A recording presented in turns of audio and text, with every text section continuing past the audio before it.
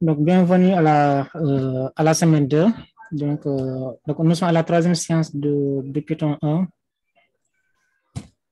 Donc, euh, on a terminé le samedi passé la, le programme de la semaine 1. Donc, normalement, on entend cette semaine, c'est celle, de la, celle du programme du, de la semaine 2. Donc, pour rappel, pour la semaine, pour la semaine 1, donc, là vous avez, on vous a introduit un peu sur la notion du codage. C'est quoi le, Python, comment faire des calculs et comment imprimer du texte, euh, comment coder en Python avec le Google Colab et comment dessiner avec la tortue? Donc ça, c'était le programme de, de, la semaine 1. Donc pour le programme de, de, la semaine 2, donc ici, euh, on a parlé de la notion euh, de message d'erreur, comment gérer des erreurs s'il si, si, existe dans un programme. On a vu la notion de variable, c'est quoi une variable et autre. Comment interagir aussi avec l'utilisateur. Donc ça, on l'a euh, l'a fait dans, la semaine 2. Comment créer des valeurs, aléatoires avec la fonction euh, euh, random. Et aussi, on a vu quelques fonctions en mathématiques. Donc, ça, c'était le programme de la semaine 2. Donc, dans les normes, vous devez déjà lire le, le programme de cette semaine-là et recueillir toutes les questions dont vous n'avez pas compris sur, sur ça. Donc, comme d'habitude, le but de, de, la séance de session live, c'est euh, une séance d'échange. Donc, si vous avez des questions par rapport à tout ce qu'on a vu, donc, c'est le moment de les poser.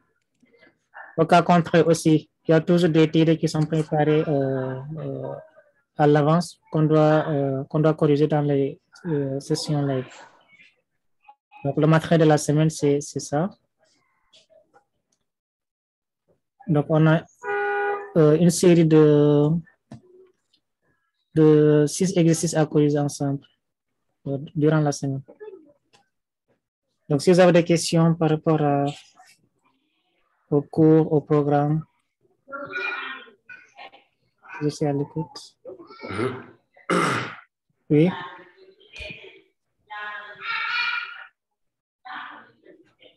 Euh, merci de mettre vos, vos micros à, à, mute si vous n'avez pas de questions à, à poser.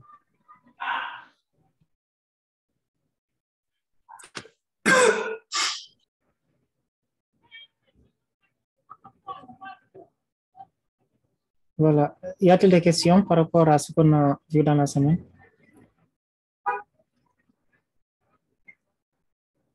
Pas de questions? D'accord. Donc, s'il n'y a pas de questions, on va passer euh, à la correction des exercices. Donc, ici, on a euh, un ensemble, une série de six exercices à corriger ensemble. Donc, c'est le programme de la semaine 2, session live de la deuxième semaine. Donc, pour le premier exercice, on a pas mal de questions qu'on doit répondre. Donc, c'est à vous de me donner les solutions à ces questions-là. Et on va essayer de commenter ça ensemble. Je vais essayer de copier toutes les questions. Euh, donc là, on est à la semaine 2, session Zoom Live 2. Voilà. Je crée un nouveau bloc texte. Là, ce sera euh, l'exercice euh, 1. L'exercice numéro 1.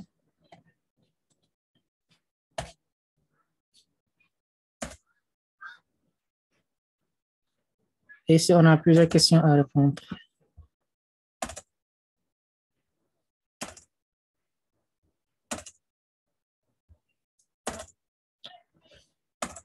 OK. Je mets ça sous forme de puce. Euh, c'est pas ça.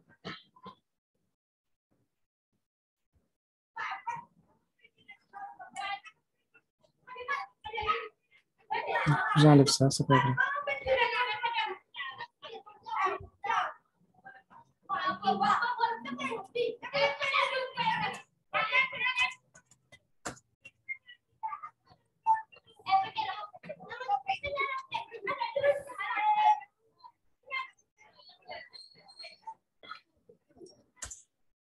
Okay.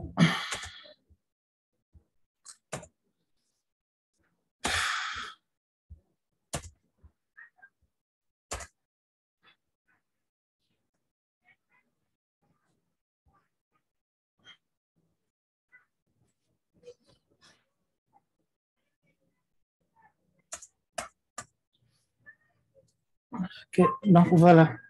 Donc pour l'exercice numéro 1, ici, euh, on a plusieurs questions euh, qui sont posées sur cet exercice-là. Donc c'est à vous de me donner la réponse à chacune de ces questions.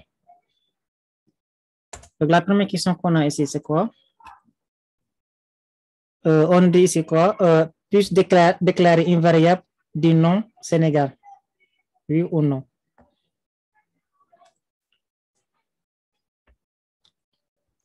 Est-ce qu'on peut déclarer une variable? Je mets ça ici, la réponse. Est-ce qu'on peut déclarer une variable du nom Sénégal?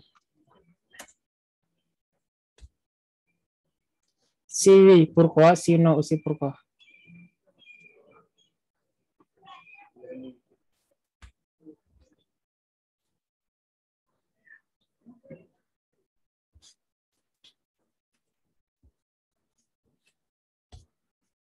Quelqu'un peut me donner la réponse? Euh, Ibrahima ou bien euh,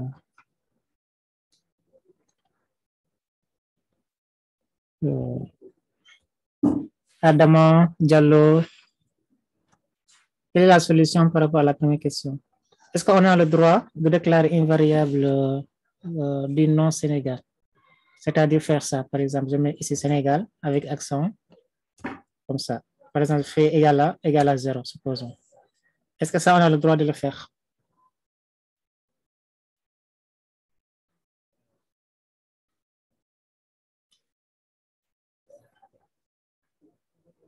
Pas de réponse?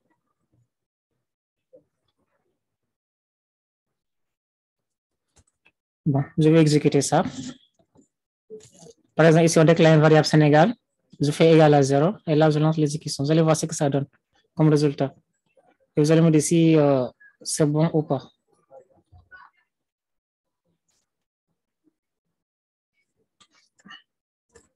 Là, je fais par exemple Sénégal.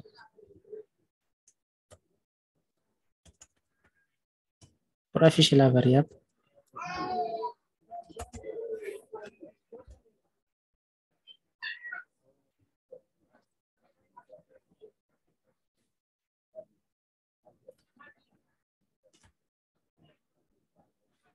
Pas de réponse?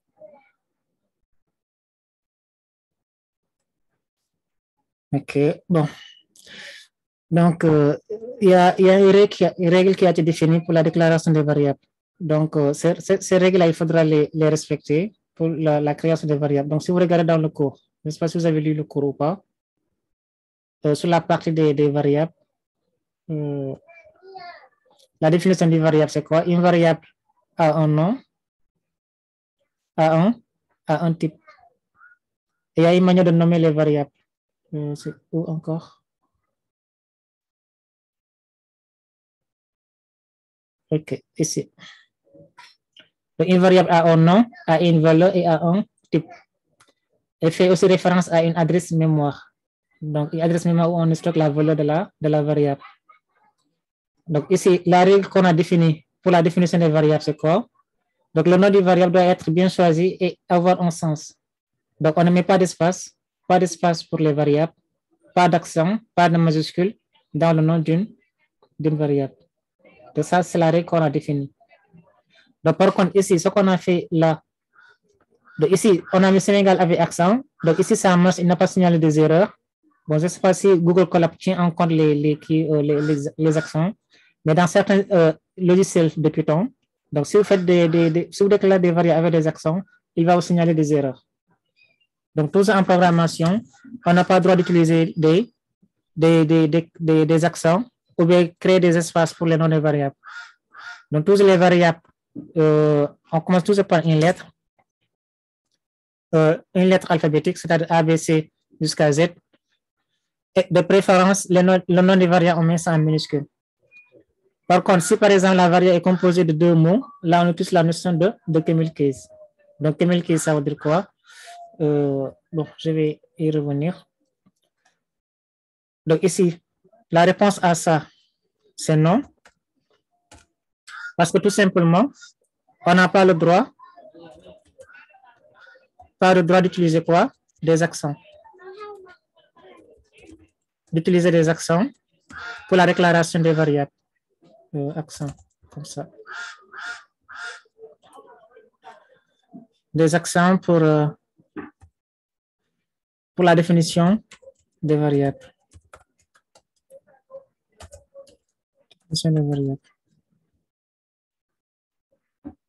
Euh, c'est ça qu'on a dit dans le, dans le cours. Pas d'accent, pas de majuscule. Euh, donc, on peut mettre des majuscules à condition que euh, la variable est composée de deux mots. Ce qu'on appelle la notion de Camel case. Donc, je vais y revenir tout à l'heure. Euh, là, pas d'accent. Euh, accent, j'ai mis S. Pas d'accent. On ne met pas d'accent. La définition des variables.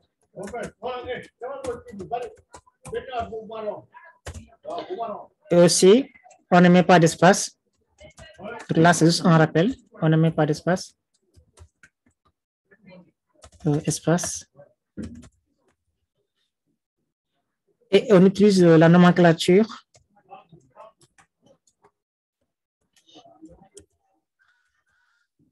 La nomenclature qu'on appelle euh, euh.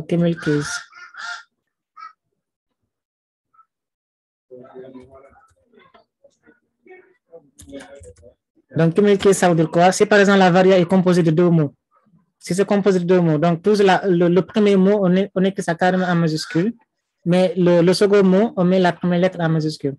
Donc, si par exemple la variable s'appelle, supposons ma variable, comme ça, elle est composée de deux mots, cette variable-là, donc le deuxième mot, je commence par une lettre majuscule. Là, j'écris par exemple ma, ma variable. Et là, je, je, je l'attribue une valeur. Par exemple, ma variable égale à, égale à 5. Donc, soit on l'écrit de cette manière-là, soit on peut faire comme ça, euh, euh, une autre variable, supposons, une autre variable, mais cette fois-ci, on le sépare par, par le, le, le, tiré de 8. Une autre variable. Une autre variable. Là, je donne par exemple 0. Donc, ça, c'est la notion de communiquer, c'est-à-dire euh, si la variable est composée de deux mots. Donc, soit les mots là, on les sépare par underscore, soit la première lettre de chaque mot, sauf le premier, on commence par, par une lettre majuscule. Donc, ça facilite un peu la, lecture des, des variables. C'est bon? Donc, euh, pour créer une variable, on évite de mettre des accents, on évite de faire des, des espaces sur les noms des variables. Et une variable commence toujours par une lettre. Donc, soit par une lettre euh, de, de, de l'alphabet, euh, de préférence des lettres minuscules A jusqu'à Z. Aussi, on peut utiliser le caractère, euh, le caractère euh, blanc. Donc, le caractère blanc, c'est le underscore. Donc, ça, on appelle ça. Donc, le underscore, ça est appelé caractère blanc. Caractère blanc. Donc, ça, on peut l'utiliser. On peut commencer par un caractère blanc ou bien par une lettre. Donc, le caractère blanc est considéré comme, comme une variable. Donc, ça veut dire quoi? Je peux commencer par exemple comme ça. Euh, une variable qui s'appelle comme ça, underscore, supposons, x. Je donne x égale à, égale à 10 par exemple. Donc là, c'est une variable qui commence par, par underscore. C'est bon? Par contre, on n'a pas le droit de faire ça. Par exemple, euh, une variable, je nomme ça de cette manière-là. Supposons. Donc ça, on n'a pas le droit de le faire. Égal à 2. Donc, une variable commence toujours par une lettre. Par une lettre. Donc, les chiffres ne sont pas considérés comme étant des lettres. Donc, ça, c'est pas correct. Si vous regardez déjà là, il a souligné ça en rouge pour indiquer que ça, c'est une, erreur à ne pas commettre. Donc là, je vais dire erreur à ne pas commettre. À ne pas commettre. Donc, une variable commence toujours commence toujours par une lettre. C'est bon? Donc, ça, c'était la première question euh, sur l'exercice numéro 1.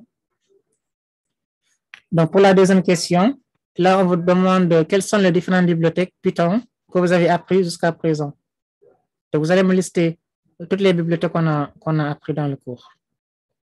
Donc, si vous avez lu le cours, vous allez normalement euh, euh, voir dedans les différentes bibliothèques qu'on a, qu'on a utilisées. Donc, je copie la question.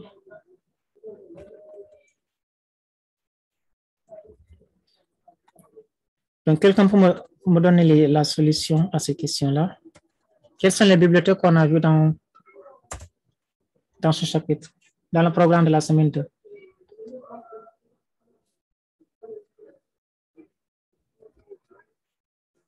Quelles sont les bibliothèques qu'on a vues?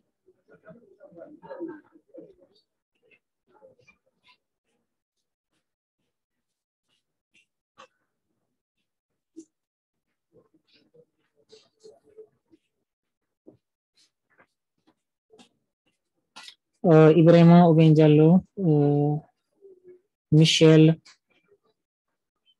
Listez-moi quelques bibliothèques qu'on a vues dans le cours.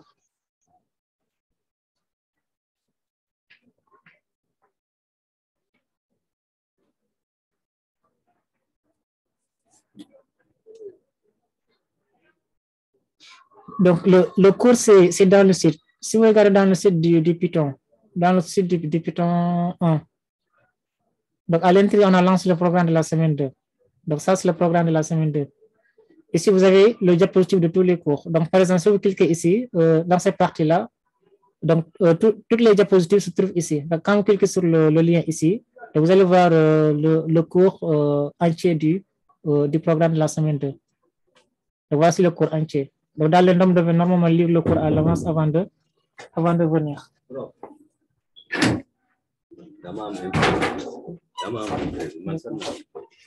Donc, vous devez normalement lire le, cours à l'avance pour faciliter un peu la correction des exercices. Donc, ici, sur, le- site,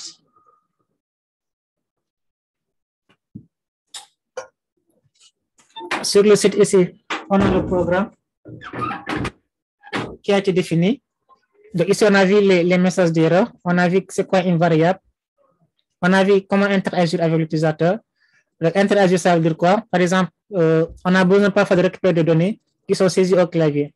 Donc, ces, données-là, pour les récupérer, il y a une fonction qui permet de le faire. Donc, ces fonctions-là, il faudra les connaître. Donc, les, val- les valeurs aléatoires. Pour utiliser les valeurs aléatoires, il y a une bibliothèque math qu'on a utilisée.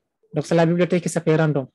Donc, si vous lisez dans le cours, euh, ici, on a parlé un peu de la notion de variable. C'est quoi une variable? On a parlé de l'affectation. Donc, affectation, c'est quoi? C'est le fait d'attribuer une valeur à une variable. Donc, pour faire une affectation, on utilise le signe, le signe égal. Donc, c'est donner une valeur à une, à une variable.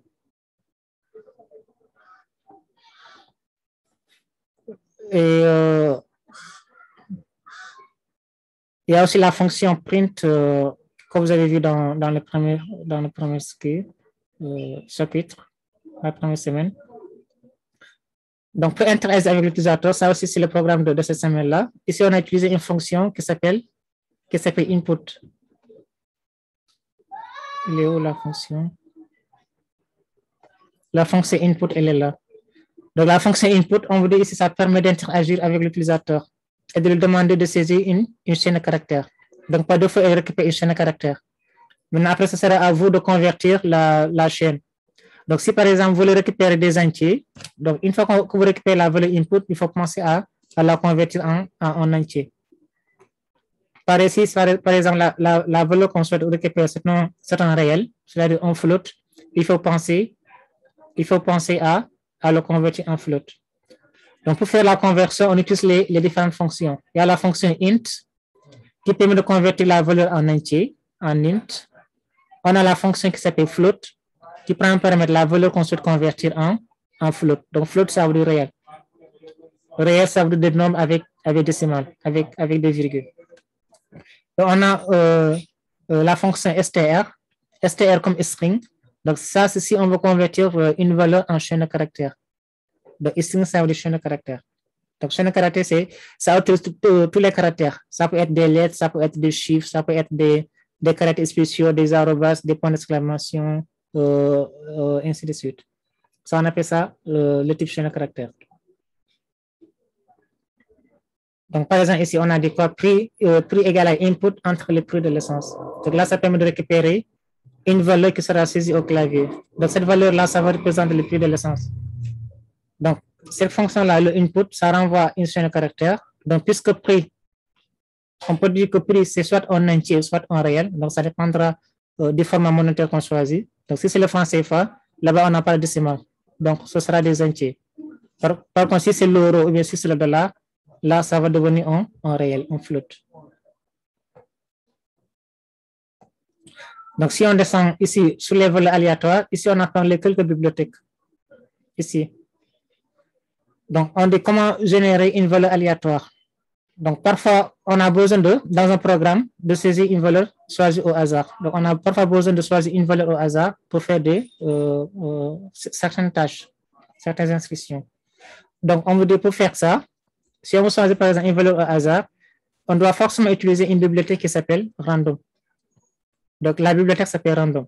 Donc, la bibliothèque random, dans cette bibliothèque-là, on a défini pas mal de fonctions qui permettent de générer des, nombres au hasard. Donc, ça peut être des, entiers, ça peut être des réels, ça peut être des chaînes de caractères, mais il va générer au hasard euh, une valeur. Donc, c'est à nous de, dire, par exemple, quel type de valeur on souhaite générer.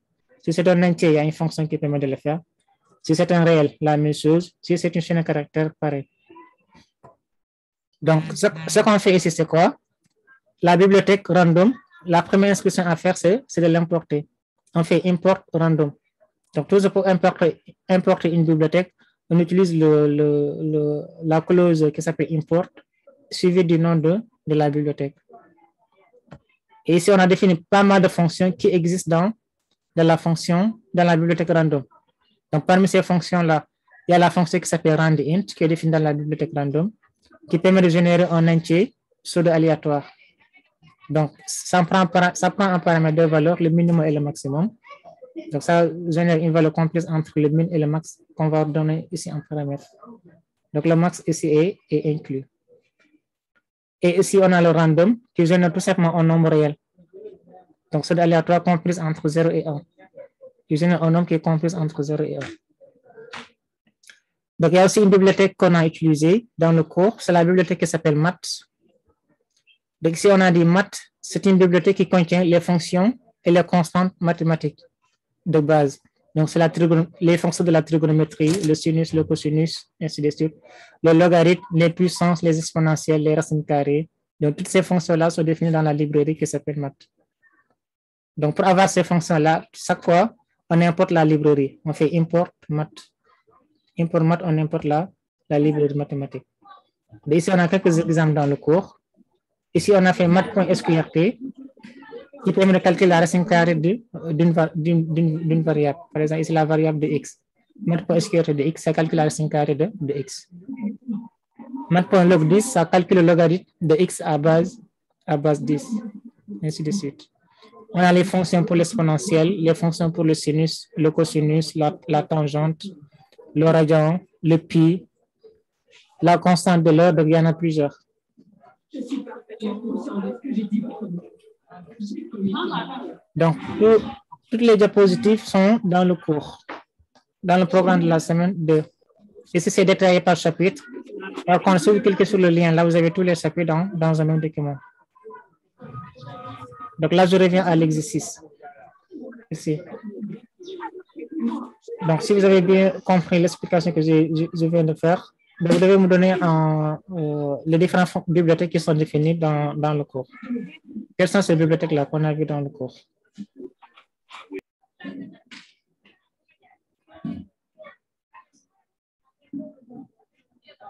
Quelles sont les bibliothèques?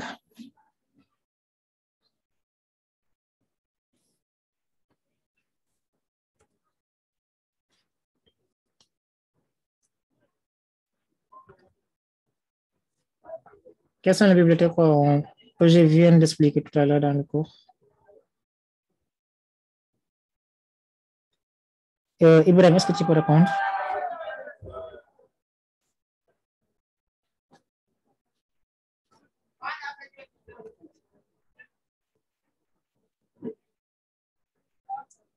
Ibrahim ou bien Adamo, Diallo, quelqu'un peut me donner les, bibliothèques que je viens d'énumérer tout à l'heure?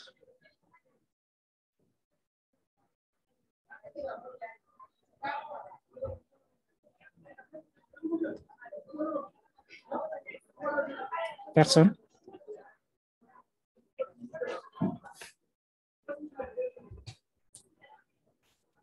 Donc, tout à l'heure, j'ai énuméré quelle bibliothèque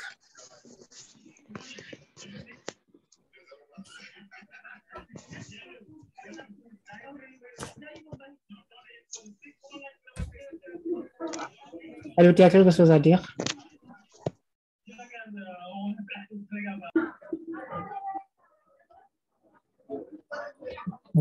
Pas de réaction. Bon, tout à l'heure, j'ai parlé de la bibliothèque qui s'appelle la bibliothèque random. La bibliothèque random. De qu'est-ce qu'on a dit sur la bibliothèque random? Ça permet de faire quoi, cette bibliothèque-là? La bibliothèque random. Qu'est-ce qu'elle permet de faire?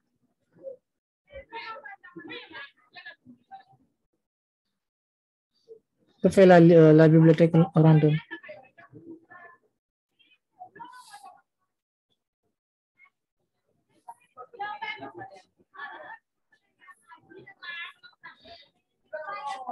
Donc, on a dit que la bibliothèque random, ça permet de générer des nombres au hasard. Donc, parfois, on a besoin de, générer des nombres au hasard. Il est où encore? Parfois, on a besoin de générer euh, des valeurs au hasard. Donc, pour générer des valeurs au hasard, on a besoin d'une bibliothèque qui s'appelle random. Dans cette bibliothèque-là, on a défini pas mal de fonctions.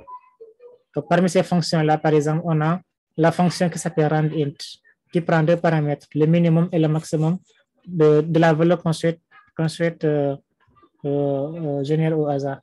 Donc, la valeur va être comprise entre le minimum et le maximum qui sera mis ici en paramètre.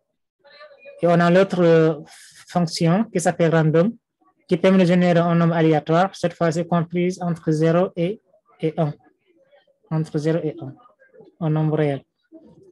Donc ici, on, va essayer de faire un exemple parmi, euh, avec ces deux cas de figure-là, le rand int et le random. Ici, par exemple, on vous demande de générer un nombre au hasard. Suppose générer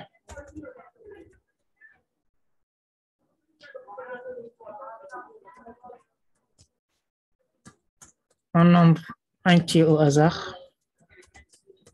Entier au hasard.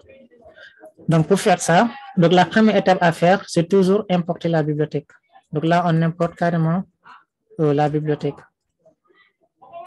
Biblio, bibliothèque.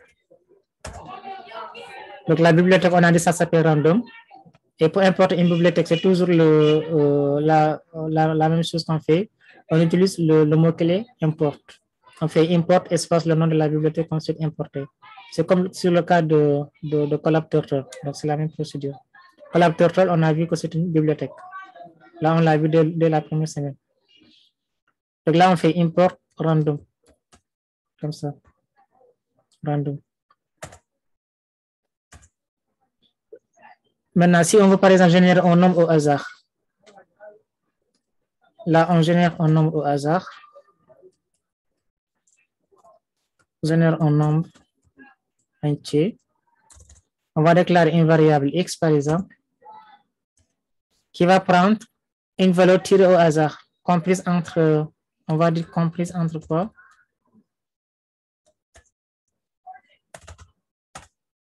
Comprise entre 0 et 10, supposons. Entre 0 et 10. Donc la syntaxe va être quoi? On va faire quoi? Random. Random point quoi? Rand? Rand int. Donc on a random point rand int et on a aussi random point, euh, point random. Donc la différence entre les deux, le random point int, ça génère un nombre entier compris dans, dans un intervalle bien défini avec le minimum et le maximum. Et par contre, l'autre, le random point random, là, ça génère un nombre réel compris entre 0 et, et 1. Maintenant, ici, une fois qu'on tire la valeur de x, on a la, possibilité d'afficher cette valeur-là. Print la valeur de x égale. Là, si on va afficher euh, une variable euh, sur Python, donc le, la chaîne de caractères et la variable, on les sépare par virgule. Donc, toutes les, les chaînes de caractères qu'on souhaite afficher, on les met entre côtes, on met les doubles côtes. et la variable, on la sépare par, virgule. Donc là, je fais virgule et je numère la variable x. Exécute. Là, si on exécute, il va m'afficher, il va tirer un nombre à hasard compris entre 0 et 10. Là, il me dit quoi? La valeur de x égale à, égale à 10. Donc, chaque fois qu'on réexécute, quand je vais réexécuter le programme, il va tirer à nouveau une autre valeur comprise dans cet intervalle-là. Donc, cette fois-ci, il a tiré 0. J'exécute à nouveau. Il va me tirer une autre valeur qui est toujours dans, dans cet intervalle. Là, j'ai 5 par exemple. Ainsi de suite. Donc, chaque fois qu'on exécute, il va tirer une valeur au hasard qui est comprise dans l'intervalle qu'on a défini dans, dans la fonction. Le minimum et le maximum. 0 et, et 10. C'est bon?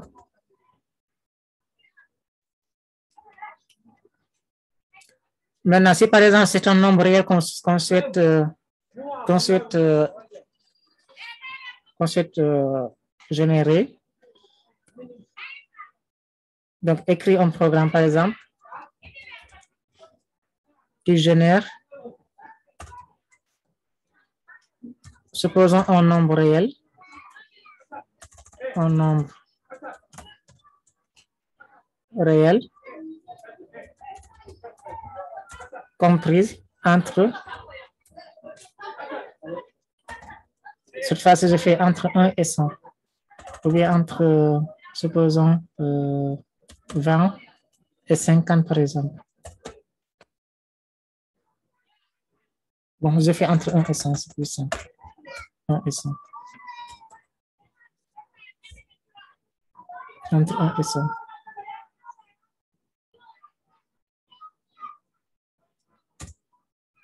Donc ici, qu'est-ce qu'on fait? Donc, on a dit toujours la première chose, on importe la bibliothèque. Là, on importe la bibliothèque. On importe la bibliothèque. Donc, la bibliothèque, c'est toujours random. C'est toujours random. Et pour importer, on fait import espace random. Et là, on déclare une variable qui va récupérer la valeur. On déclare, déclarer. Une variable y par exemple qui va recevoir le nombre tiré tiré au hasard. La syntaxe sera quoi cette fois-ci? On va mettre y égale à y égale à quoi? Quelqu'un peut me donner la formule? y égale à quoi? Qu'est-ce qu'on va faire?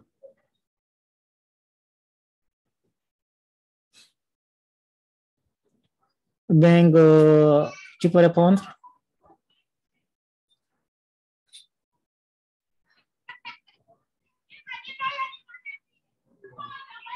Adama? C'est qu'est-ce qu'on fait? Ce sera à peu près la même procédure que, que le, que. La manière dont on l'a fait ici, random.rand int, ce sera la même procédure. Donc cette fois, c'est seulement la fonction ne s'appelle pas rand, rand int, mais plutôt random. Donc la fonction porte le même nom que la bibliothèque. Donc elle est définie à l'entrée de la bibliothèque random. Donc on fait tout simplement quoi? Random. Random. Random.rand. Random. Donc random, euh, c'est un mot euh, anglais qui signifie aléatoire. Donc ici, ça va tirer un nombre aléatoire. Donc vous allez voir, quand je fais ici, euh, quand je vais afficher la valeur, donc affichage de la valeur, quand je vais faire un print de y, donc vous allez voir, donc on a dit par défaut, la fonction, qu'est-ce qu'elle fait? Elle, elle, elle, euh, génère un nombre aléatoire compris entre 0 et 1. Donc là, si j'exécute ici, vous allez voir que la valeur qu'il va générer, c'est compris entre 0 et, et 1. Ici, on a 0,4, 40 euh, et poussière. Quand je l'exécute à nouveau, il me génère une autre valeur, 0,00, ainsi de suite. Je refais la même chose, il me tire encore d'autres valeurs. C'est bon? Maintenant, ici, nous, ce qu'on souhaite faire, c'est quoi? On veut générer ici, si on, sort de ici, donc à chaque fois, la valeur sera comprise entre 0 et 1. Donc, on ne pourra pas avoir l'intervalle entre 1 et 100. Donc, ça ne va pas dépasser 1. Donc, nous, on va, on va avoir, euh, comment dirais-je, des valeurs qui sont comprises dans l'intervalle 1 et 100. Donc, 1,0 jusqu'à, donc je mets ici 1.0 jusqu'à jusqu'à 100.0, supposons. Donc, pour faire ça, qu'est-ce qu'on fait? On va juste ici, euh, la valeur qui sera, euh, qui sera générée au hasard, puisqu'elle est comprise entre 0 et 1. Donc, pour avoir, par exemple, comment dirais-je, comment dirais-je, le- les centaines, les unités de centaines, ici, on va, multiplier toute cette opération-là par, on va le multiplier par, euh, on va le multiplier par 10. Par 10, je crois. Donc, si je mets 100, on, on risque de dépasser le- l'intervalle de 1 à 100. Donc, par exemple, je, je vais laisser 100 pour voir. On exécute. Là, j'ai 58, par exemple, comme valeur. Là, j'ai 27, 32, 15, 64. Donc ici, avec, avec euh, euh, la multiplication par 100, donc il va prendre euh, par défaut combien? Deux chiffres après la, après la virgule. Deux chiffres après la virgule. Donc si on a 0, quelque chose, donc il va prendre les, les deux chiffres après la virgule. C'est bon? Donc si j'avais mis ici 10, la valeur qu'on qu'on allait tirer, ça allait être comprise entre quoi? Entre 0 entre 0 et 10. Entre 0 et 10. Donc, ça ne va jamais dépasser 10. Donc là, on fait, on fait 100. Ici, au lieu de mettre 1, je vais mettre plutôt 0. On prend entre 0 et 100. Voilà. Donc, ici, on a vu comment utiliser la bibliothèque random.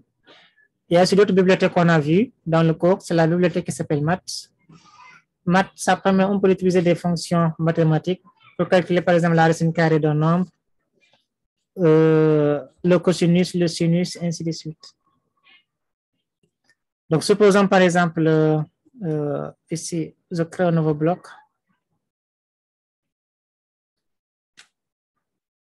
On va utiliser la, bibliothèque maths. Par exemple, on écrit un programme. Supposons qu'il calcule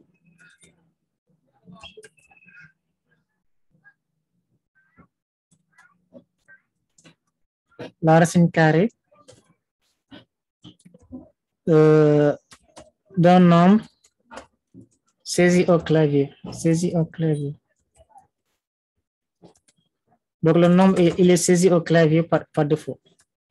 Il est saisi au clavier. Donc, si on doit utiliser la fonction racine carrée, donc la fonction racine carrée, c'est la fonction qui s'appelle SQRT. De cette fonction-là, elle est définie dans la bibliothèque math. Donc, toujours la première chose à faire, c'est d'in- d'inclure d'importer cette bibliothèque-là. Donc, si on doit utiliser des fonctions mathématiques, on doit, on doit importer la bibliothèque où, la fonction elle est, définie. Donc, on importe la bibliothèque, la bibliothèque maths, la bibliothèque euh, maths. Et pour importer, on fait juste un import, espace, le nom de la, de la bibliothèque. Et qu'est-ce qu'on fait? Dès qu'on importe la bibliothèque, ici on a dit quoi? On doit écrire un programme qui calcule la racine carrée d'un nombre d'un nombre saisi au clavier. Donc le nombre là doit être saisi au, au clavier. Donc pour euh, récupérer une valeur qui est saisie au clavier, on a vu la fonction qui s'appelle qui s'appelle input.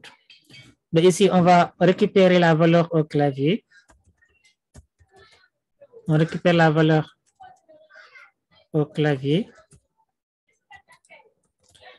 Donc, pour récupérer cette valeur-là, dans toutes les valeurs, quand on les récupère, il faut penser à les stocker dans une variable.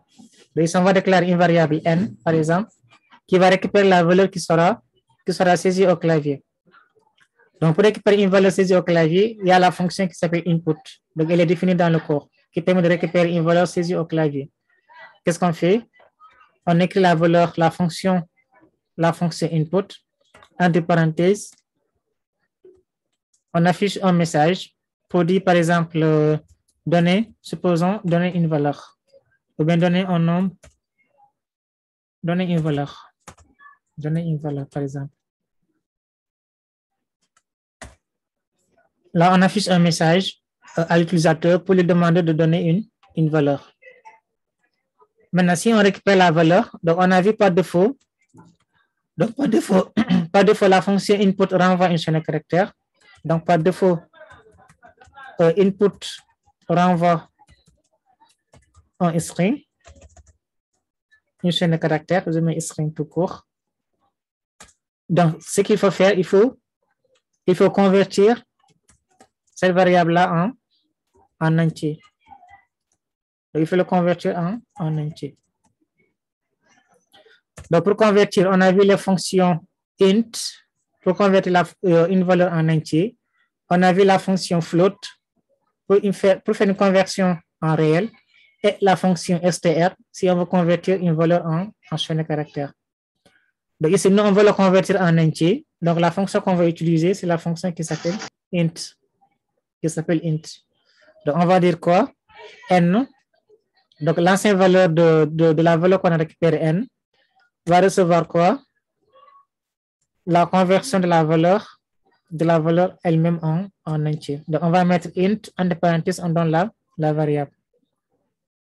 Donc là, ça permet de convertir la, la valeur n ici en, en entier. Donc, si on voulait, on voulait la faire en, en, réel, on, va, on allait utiliser la fonction float. Là, ça le convertit en réel. Donc, si c'était en chaîne de caractère, on allait mettre ici st, str. Donc, puisque nous, on veut le faire en entier, on va utiliser la fonction qui s'appelle int. Et entre parenthèses, on donne le nom de la, de la variable. Donc, on, a, on avait aussi la possibilité de mettre directement ici, euh, input directement, euh, dans, dans le input, par exemple ici, on pouvait mettre comme ça, euh, on fait la conversion directement, on ouvre la parenthèse ici, et là on ferme. De ce fait, la valeur qu'on va, qu'on va récupérer va être directement convertie en entier, directement convertie en entier. Et on n'aura plus besoin de faire ces deux instructions-là. Donc ça, c'est une, une possibilité. Donc pour l'instant, je vais laisser ça. Peut-être je vais copier ça pour la deuxième solution. Donc pour savoir qu'il y a deux manières de le faire.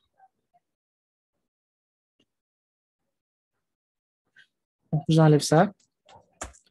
Maintenant, une fois qu'on récupère la valeur n, qu'est-ce qu'on a dit? Nous, on va calculer la racine carrée de cette, de cette valeur-là, n. Donc là, on va calculer, on calcule, on calcule la racine carrée de n. La racine carrée de, de n. Donc la racine carrée, puisque c'est un calcul qu'on doit faire, il faut toujours penser à stocker le résultat de votre calcul. Donc pour le stocker, on crée juste une variable. Donc c'est à vous de voir le nom de la variable que vous allez créer. Par exemple, je mets ici x égale à quoi? Donc la, la, la racine carrée, c'est la fonction qui s'appelle sqrt. Donc je mets la fonction ici dans, dans le chat. sqrt. Donc cette fonction, pour l'avoir, on fait mat mat.sqrt mat.sqrt et entre parenthèses, on indique le, la variable. Donc là, ça permet de calculer sqrt. Donc sqrt, hein, là, j'ai oublié de mettre le, t. mat.sqrt. Donc là, c'est cette fonction-là qui permet de, de calculer la racine carrée. Donc ici, on fait quoi? x égale à mat mat.sqrt. Comme ça. Et entre parenthèses, on donne la, la variable n. La variable n. Maintenant, une fois qu'on fait le calcul, on affiche tout simplement le, le résultat. Là, on affiche le résultat. Donc, pour l'affichage du résultat, on peut dire quoi? Print. Donc, toujours afficher sur la fonction print. On peut dire la racine carrée. La racine carré de, je mets virgule, je vais afficher la, la variable de n, je mets la racine carrée de n, et 2, par exemple, je mets deux points, et là je donne la variable qui stocke le résultat de la, de la racine carrée. Et ça, cette, variable-là, c'est la variable x. Donc le n ici, c'est la valeur qu'on a saisie au clavier, et le x, c'est le résultat de la racine carrée de, de n. Et là, on exécute le programme. On lance l'exécution. Ici, si vous regardez, qu'est-ce qu'il demande? Donc, donner une valeur. Donc, cette instruction-là, c'est l'instruction qu'on a écrite ici avec le input, donner une valeur. Donc là, il attend qu'on saisisse une valeur. Par exemple, si je donne la valeur, supposons euh, euh, 47, par exemple, 49, supposons, la racine carrée de 49, et j'exécute. Là, il me dit quoi? La racine carrée de 49 est de est 7. Donc, si vous regardez bien, la racine carrée de 49, c'est 7. Donc, si je réexécute le programme, je donne une autre valeur, supposons la racine carrée de 25. On sait bien que la racine carrée de 25, c'est égal à 5. Quand j'exécute ici, là, il me donne le résultat. Il me donne le résultat 5. Donc, il y a pas mal de fonctions qui sont définies dans, dans cette bibliothèque-là, la bibliothèque math. Donc, parmi, euh, parmi ces fonctions-là, on a listé ici quelques-uns sur euh, quelques-unes sur, sur le cours. Donc, c'est à vous de, euh, de maîtriser ces, ces fonctions-là. Il y a la fonction SQRT pour la racine carrée, le logarithme à base 10, le logarithme népérien. On a l'exponentiel, le sinus, le, cosinus et la tangente. Nous avons le radian, nous avons le pi, nous avons la constante de l'heure. Donc là, ce sont quelques fonctions qu'on a énumérées ici, mais il faut savoir qu'il y en a plusieurs. Plusieurs fonctions. Y a-t-il des questions par rapport à ça?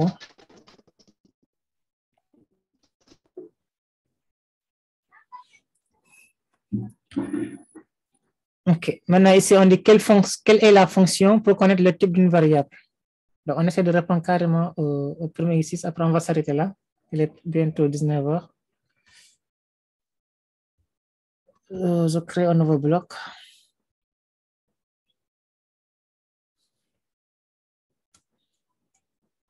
Quelle est la fonction pour connaître le type d'une variable? Donc, la fonction, c'est la fonction qui s'appelle. Ici, on va créer quelques variables. Par exemple, A, je donne par exemple, suppose je mets âge égal à par exemple 15. Je donne par exemple le nom. Je mets par exemple Toto comme nom. Et là, je donne par exemple la variable B qui est égale à, supposons, true. Maintenant, pour connaître le type d'une variable, qu'est-ce qu'on fait? On utilise la fonction, la fonction type. Il y a une fonction qui s'appelle type qui permet de définir, de savoir quelle est la variable, quel est le type d'une variable. Donc, la syntaxe, c'est quoi? On met type, entre parenthèses, le nom de la variable. Donc, quand je fais ici type âge, là, il va me dire quoi? Que âge, c'est un, c'est un entier. Là, il va, il va me renvoyer int. Ça me renvoie int. Donc, toujours quand je fais, par exemple, ici, type, type de, de la variable nom qu'on a définie tout à l'heure, là, il va me dire que nom, c'est un str, c'est un string, c'est un caractère. Et quand on fait type de B, type de la variable B, il va dire que la variable là, c'est un, un booléen. Donc, c'est le type bool. Donc, chaque fois, on veut connaître le type d'une variable, on met Euh, je suis en retard. Je fais un devoir de PC. OK. Donc, il n'y a pas de souci, euh, Ibrahim. Donc, on a presque fini. Donc, pour l'instant, on est juste au, premier exercice, on n'a pratiquement rien fait. Juste la première, le premier exercice qu'on qu est en train de corriger. OK. Donc, ici, il reste... Euh, donc, chaque fois, si vous voulez connaître le type d'une variable, on utilise la fonction qui s'appelle type. Donc, tout ça, là, c'est des choses qu'il faut maîtriser. C'est des choses qu'il faut maîtriser. Il faut connaître les différents types qui existent en Python. On a les entiers, on a les, les réels, on a le, le de caractère, on a le, le, le, le les booléens. Donc, il y en a d'autres types qu'on verra après. Il y, a, les listes, il y a, il y a, il y a les classes, ainsi de suite. Aussi, il y a des fonctions qui se définissent dans, dans des librairies. Si on prend la librairie maths, donc dans la librairie maths, on a des fonctions telles que la racine carrée, le SQRT, la puissance, le cosinus, le sinus, euh, euh, le logarithme népérien, l'exponentiel, ainsi de suite. Si on prend le cas de la bibliothèque random, la bibliothèque random, on a dit, ça permet de, générer des valeurs au hasard. Donc si on veut générer un entier au hasard, on utilise la fonction qui s'appelle randint. Et entre parenthèses, on, indique l'intervalle où la valeur sera générée. Donc, ce sera compris 0 et 10. 0 en fait partie et 10 aussi en fait, en fait partie. Donc, si c'est un nombre réel qu'on souhaite, euh, qu'on souhaite générer, donc les nombres réels, on les génère avec la fonction random définie dans la bibliothèque random. On fait random.random. Random. Donc, par défaut, cette fonction-là, elle génère un nombre complexe entre 0 et 1.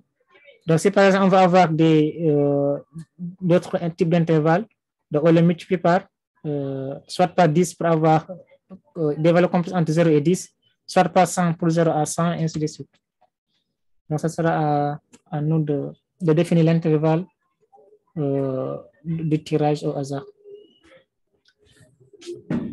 Donc, on dit ici quelle est la fonction pour récupérer ce qu'on tape, ce que l'utilisateur tape au, au, clavier. Donc, cette fonction-là, on l'a utilisée tout à l'heure. C'est la fonction qui s'appelle input. C'est la fonction input. Donc, on l'a utilisée ici pour récupérer la valeur qui est saisie. La valeur qui est saisie ici pour calculer la racine. Donc, c'est cette fonction-là, input. Donc, je vais essayer de mettre ça là. Je copie la question.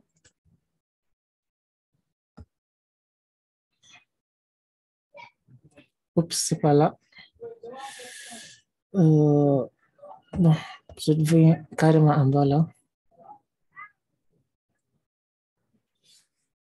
Je colle la question, je fais CTRL V. Voilà quelle est la fonction pour récupérer ce qu'on dans l'utilisateur, ce que l'utilisateur tape au clavier? Donc, c'est la fonction qui s'appelle input. Donc, suppose on va récupérer le nom d'une personne. Par exemple, on euh, écrit un programme qui, euh, qui récupère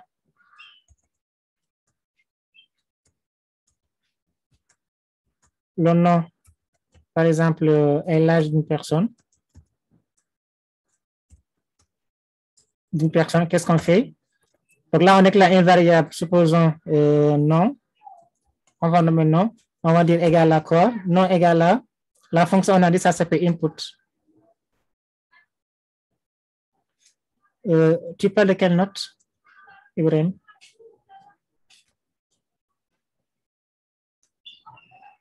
On met non égal à euh, input. Ici, on, dit, on, va dire quoi? Donnez votre, donnez votre nom. Donnez votre nom comme ça.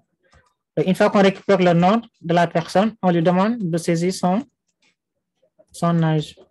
On lui demande son âge. Donc, on va faire quoi? On déclare une variable aussi âge. Donc, toutes les variables doivent, être, doivent avoir un sens. Donc, quand on lit la variable, on, a déjà une notion de ce qu'elle permet de faire. De ce qu'elle permet de faire. Donc, là, j'utilise un nom comme nom de variable et âge pour que l'âge, l'âge de, de la personne. Mais ici, par exemple, on va directement convertir la variable âge. Oui, le notebook sera partagé après. Après la séance, on, on, partagera le, notebook sur le, groupe. Mais ici, on va directement convertir la variable âge. Puisque âge, c'est des entiers, ce n'est pas des réels, ni des chaînes de caractères, mais c'est des, des, nombres entiers. Donc, on va mettre âge, euh, int, à l'intérieur, on fait appel à la fonction, à la fonction input. Là, on va dire quoi donner donnez votre, votre âge, comme ça. Et maintenant, ce qui reste à faire, c'est quoi? On va juste afficher un message. Par exemple, on va dire print, euh, bonjour. On affiche le nom de la personne. Donc, on fait appel à la variable nom. Et on lui dit quoi? Vous avez, par exemple, vous avez, on affiche l'âge de, de la personne. Vous avez, par exemple, un an, deux ans, trois ans. Donc, ça dépendra de la valeur qu'il va saisir. Donc là, si on exécute ce programme-là, il va nous dire quoi? En premier lieu, sur les premiers inputs qu'on a ici, il demande de saisir le nom. Donnez votre nom. Par exemple, je donne Ismaël. Je valide. Là, il me dit de donner mon âge. Donnez votre âge. Je donne par exemple 15 et là, je valide. Et là, il m'affiche quoi? Bonjour Ismaël, vous avez, vous avez 15 ans. Donc ça, c'était la question euh, par rapport à, à ça. Donc, je pense qu'on va, si, si, vous avez des questions euh, par rapport à ça, donc sinon, s'il n'y a pas de questions, on va s'arrêter là pour aujourd'hui. Donc, il est, il est 19h, il nous reste 3 minutes. Salut, Ismaël. Oui. Ismaël. Oui, oui, Ibrahim, je t'écoute. Bon, je voulais vous demander, je voulais vous demander si je pouvais avoir votre notebook. Celui que je suis en train de faire comme ça. C'est comme ça. Oui, ce notebook là. Ok, donc je vous partage le lien sur le, sur le chat directement. Comme ça, vous allez l'utiliser. Bon, Ok, merci. je récupère le lien de partage. Je vous donne ça.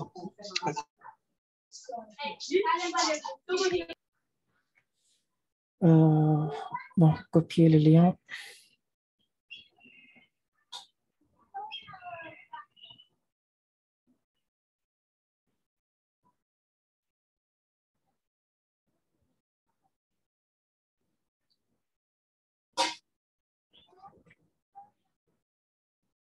Bon, je mets ça sur le chat, comme ça vous aurez le notebook. Euh, vous pouvez le, le traiter et autres. Donc, on va s'arrêter là. Donc, on a uniquement fait le premier exercice. Il nous reste pas mal de- d'exercices à faire. Donc, il y, a, il y en a six au total. Donc, on a juste fait le premier. Donc, le samedi, on essaiera de terminer la fiche d'exercice. Euh, De grâce aussi, il faut, euh, il faut euh, que vous lisiez le cours à l'avance. Ça nous permettra d'aller plus vite, au lieu de revenir chaque fois sur le cours.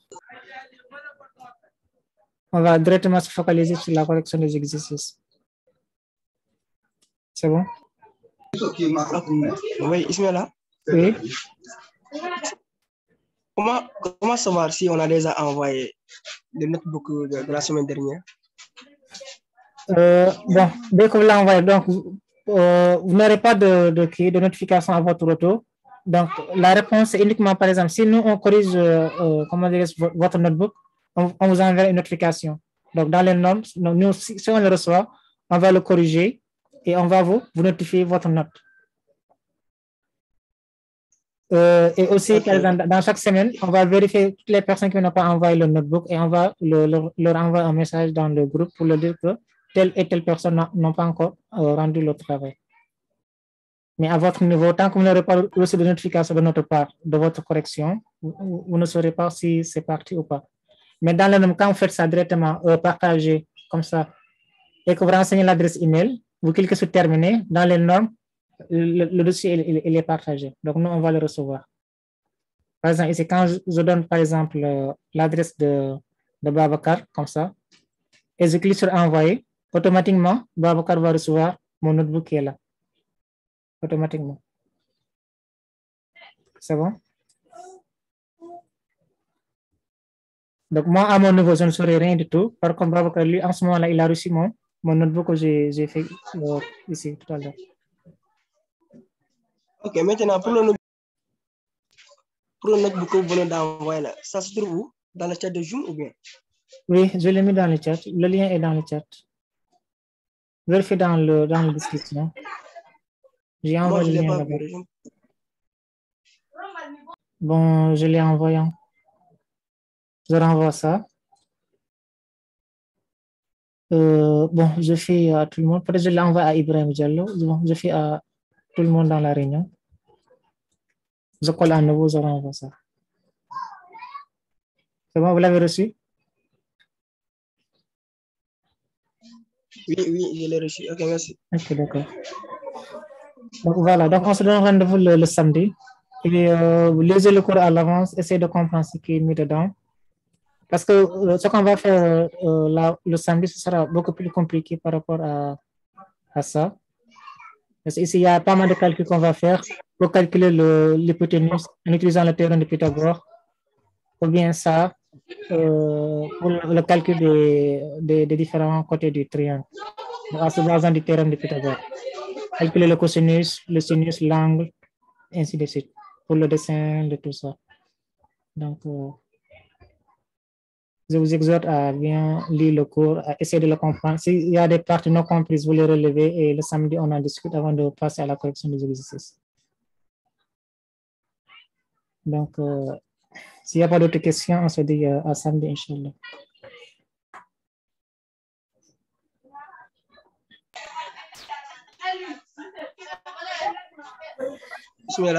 Oui, oui, Ibrahim.